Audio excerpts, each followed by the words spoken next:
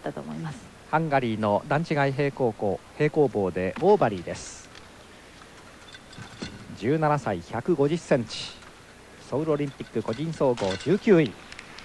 今のもストロングという技ですね。前に振って1回半ひねりながら下バーを飛び越してまた下バーで毛上がりをするという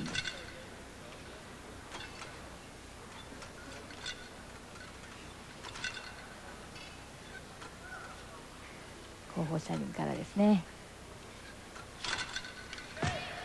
この選手はそのまま抱え込みの2回宙返